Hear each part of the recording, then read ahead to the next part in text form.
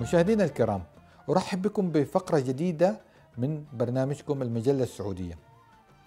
واليوم حيكون عندنا فقرات جديدة ومتنوعة وحيكون من ضمنها نجاوب على سؤال معنى كلمة أن المسيح ابن الله. خليكم معنا.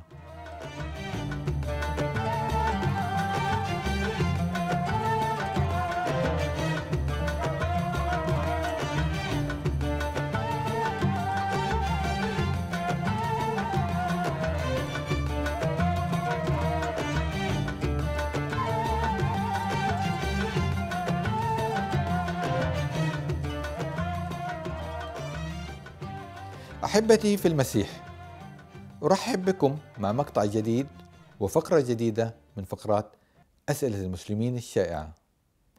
واليوم بنتناول معنى أن المسيح ابن الله.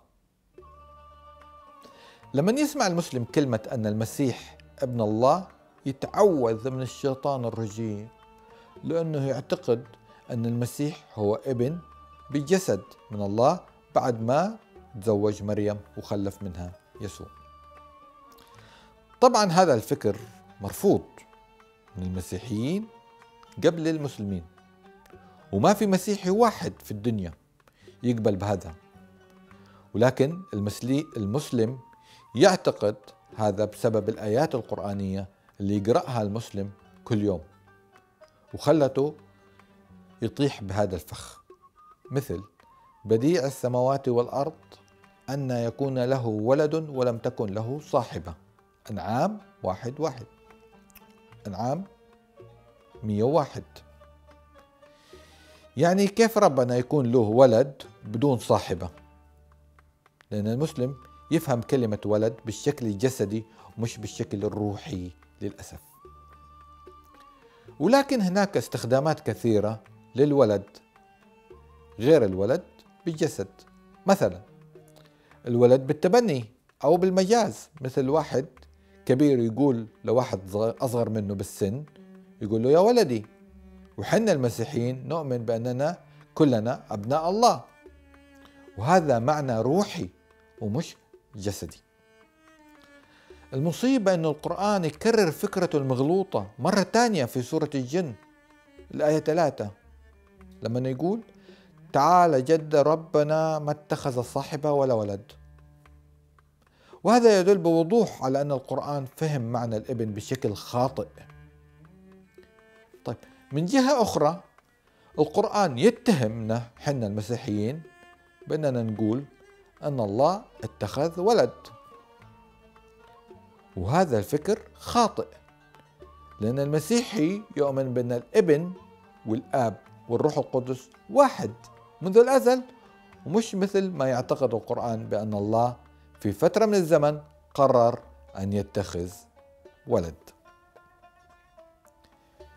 من أشهر آيات القرآن اللي يستخدمها المسلمين هي لم يلد ولم يولد ولم يكن له كفوا أحد. حسب تفسير ابن كثير يعني أن الله لم يلد ولم ينولد ولم يكن له صاحبة ولا ولد فهل المسيحي يعتقد بأن الله مولود بطريقة جسدية؟ حاشا إذا ما معنى ابن الله؟ بالمفهوم المسيحي الابن تعني أن المسيح آت من عند الله بمعنى الانتماء المسيح هو الكلمة والكلمة هو الله وفكره والكلمة تجسد بالمسيح يسوع والكلمة كان أصلا عند الله قبل أن يظهر بجسد الكلمة هو أصلا من كينونة الله. فالبنوة سابقة للتجسد في اللغة العربية نستخدم كلمة الابن للدلالة على الانتماء. مثلا نقول فلان ابن جدة أو ابن النيل أو نقول هذا من عيال الشرفية أو فلان من عيال الصفا. فهل حي الصفا مثلا هو أم هدول العيال؟ طبعا لا. المقصد أنه هذول العيال ينتمون لحي الصفا وهكذا. علشان كده الكتاب المقدس يقول عن المسيح في البدء كان الكلمة والكلمة كان عند الله وكان الكلمة الله. يوحنا واحد. واحد.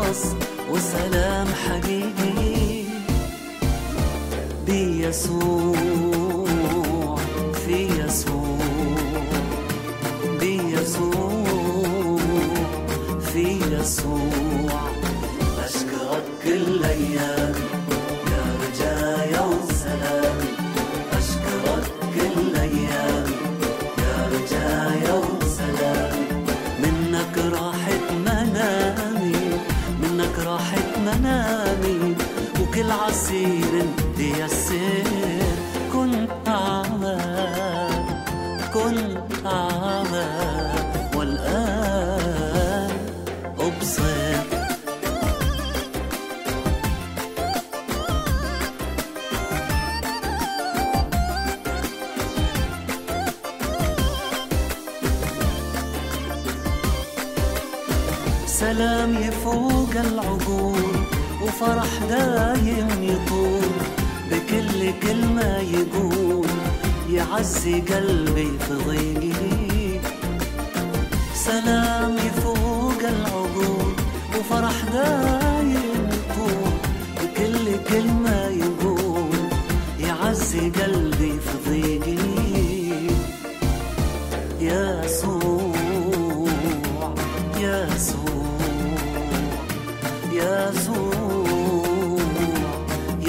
يسوع أشكرك كل أيامي يا رجايا وسلامي. أشكرك كل أيامي يا رجايا وسلامي. منك راحت منامي منك راحت منامي. وكل عسير انت يسير كنت أعمى كنت أعمى.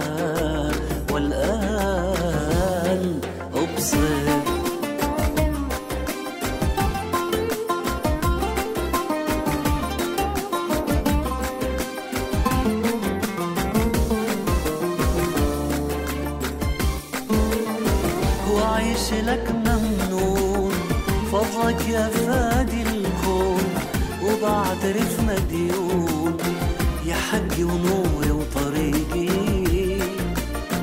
وعيش لك ممنون فضلك يا فادي الكون وبعترف مديون. يا حقي ونوري وطريقي. يا يسوع يسوع يسوع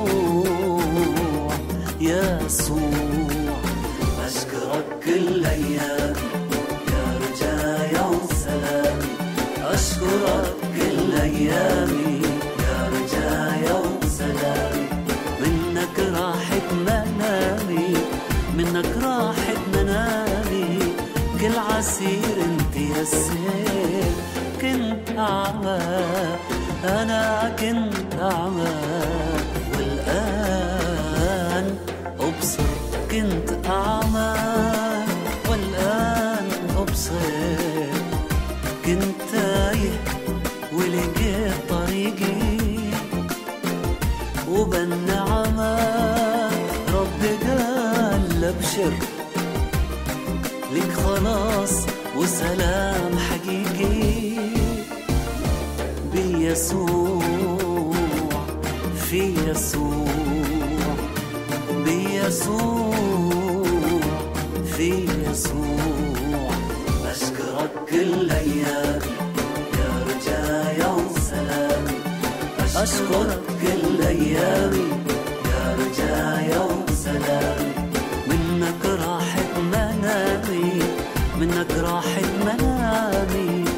كل عسير انت يا سير كنت أعمى. أنا كنت أعمى. والآن أبصر.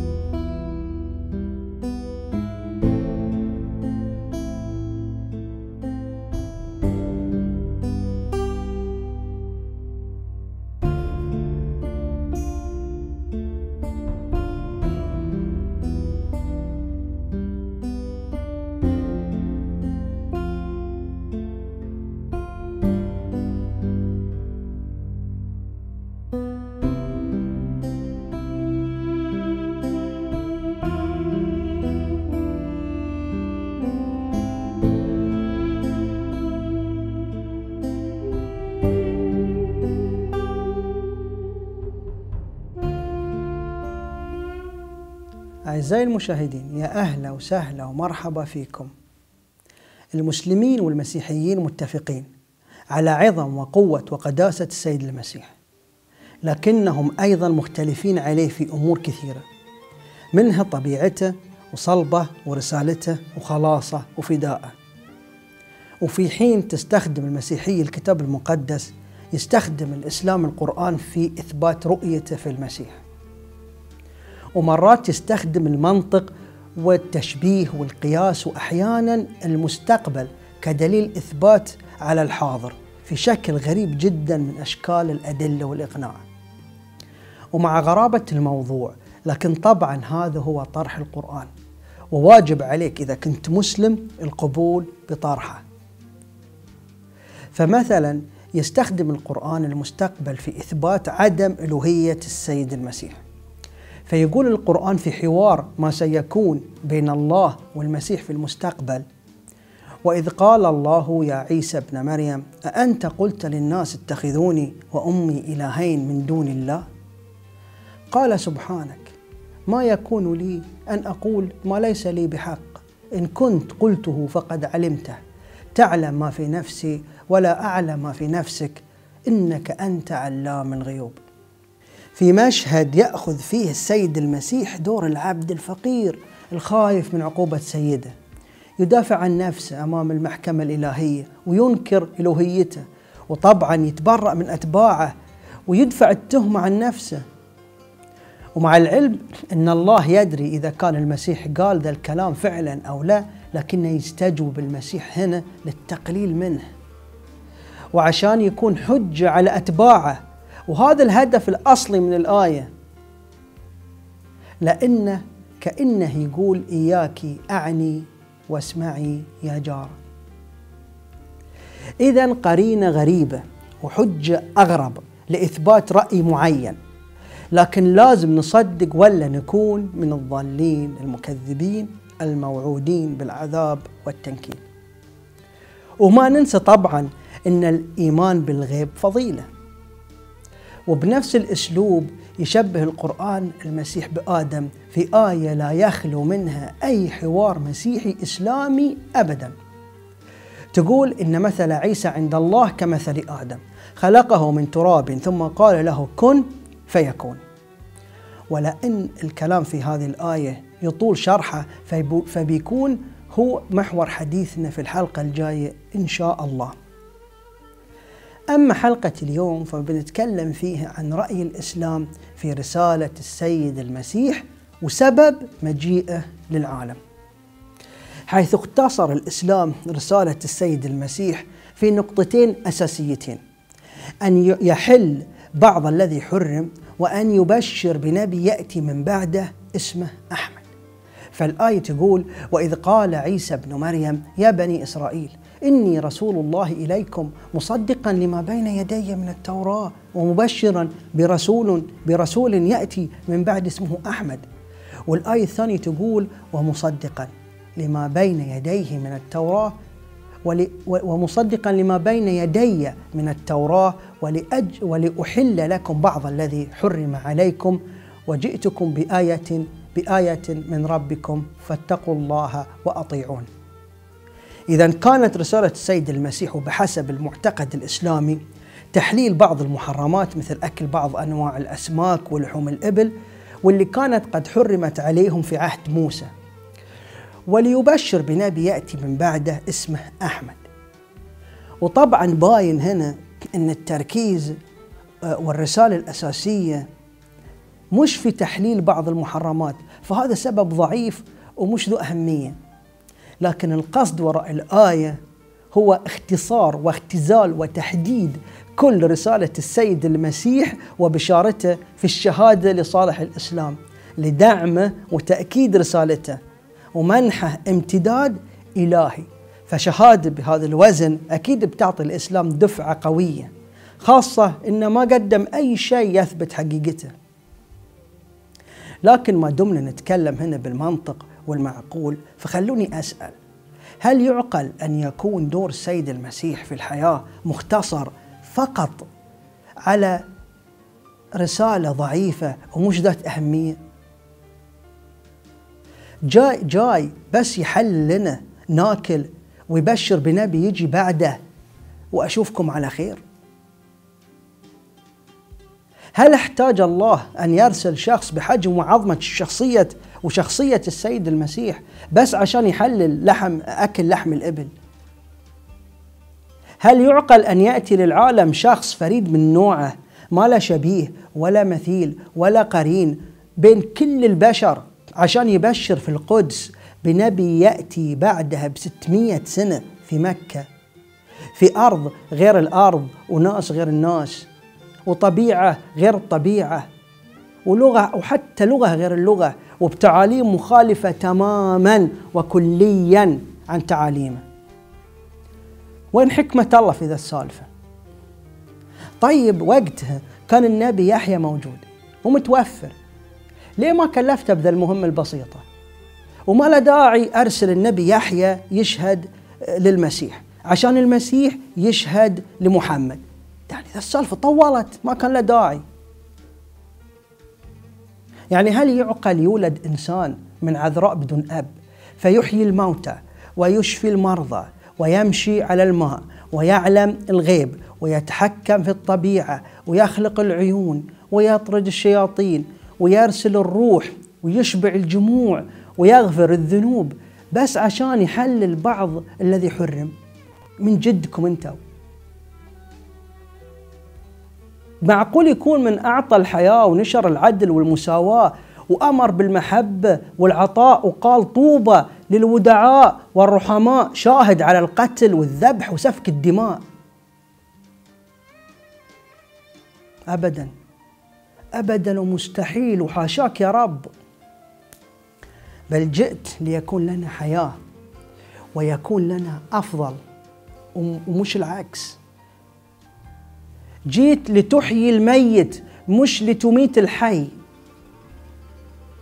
لقد وهب الله للناس حياة جديدة في المسيح ولن يسلبها منهم ابدا. مستحيل يبدل الله تعاليم السيد المسيح الإنسانية بتعاليم قاسية ولا إنسانية. مستحيل يبدل الله المحبة والرحمة بالعنف والقسوة. مستحيل يجي من صنع العيون والأطراف. وهب الحياة مبشر بمن يقلع يقتلع العيون ويقطع الأطراف ويزهق الأرواح. بل مستحيل أن يكون الرسول المرسول أقدس من الرسول.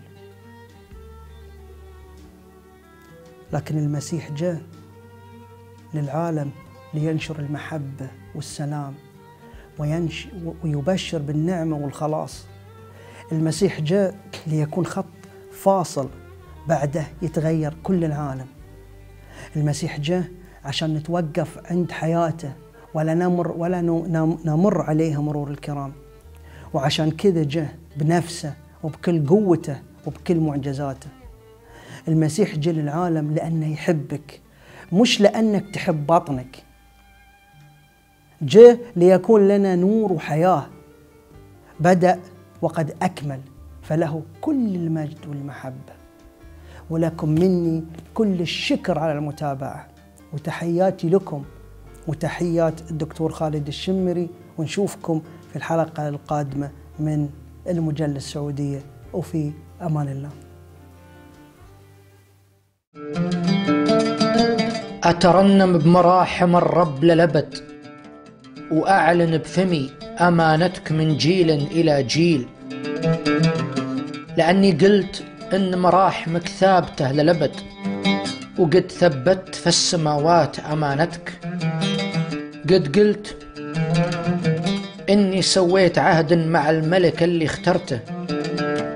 أقسمت لداود عبدي أثبت نسلك للأبد وأبقي عرشك قايما من جيل إلى جيل. السماوات نفسها تشيد بعجايبك أيها الرب والملائكة القديسين بأمانتك؟ فمن في السماء يعادل الرب ما فيه بين الكائنات السماوية من يماثله إنه إله مهوب مرة في محفل الملائكة القديسين ومخوف كثير عند كل المحيطين فيه. من مثلك يا رب إله الجنود؟ الرب القدير. وأمانتك محيطة فيك. أنت متسلط على هياج البحر فتهدي أمواجه عند ارتفاعها. أنت سحقت قوة مصر فصارت مثل قتيل وبددت أعدائك بقدرتك العظيمة. أنت ملك السماوات والأرض بعد. أنت مؤسس المسكونة وكل ما فيها. أنت خالق الشمال والجنوب وباسمك يترنم جبل تابور وحرمون. أنت ذو القدرة العظيمة يدك قوية ويمناك رفيعة. البر والقضاء قاعدة عرشك الرحمة والحق يتقدمون حضرتك. طوبى للشعب اللي يستجيب الهتاف البوق. فيسلك في نور محياك يا رب. باسمك يبتهجون طول النهار وببرك يسمون. فإنك أنت قوتهم اللي فيها يفخرون. وبرضاك يعلو شأننا لأن الرب هو حمايتنا وملكنا هو قدوس إسرائيل.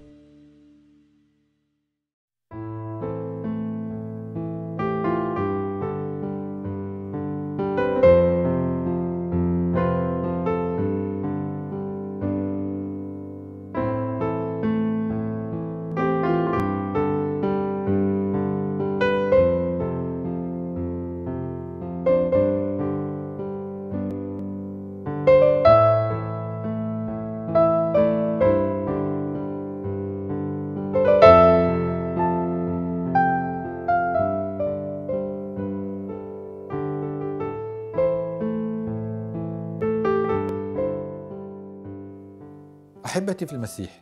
وصلنا الآن إلى فقرة الاختبارات وصلنا هذا الاختبار من الأخ ميم من أوروبا. يقول كان جدي مؤذن في المسجد وفقيه في الدين وكان يحبني كثيرا ويأخذني دائما إلى المسجد وأنا صغير بالجزائر بلدي.